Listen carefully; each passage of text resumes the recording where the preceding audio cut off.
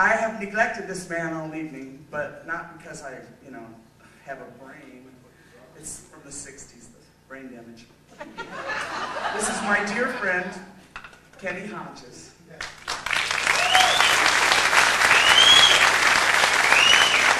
Kenny was our bass player in Spanky and Our Gang and several incarnations of Spanky and Our Gang. And he writes great songs, great songs. And he's going to sing one that was, was it a hit? I don't remember. Oh, it was number 96 for one week.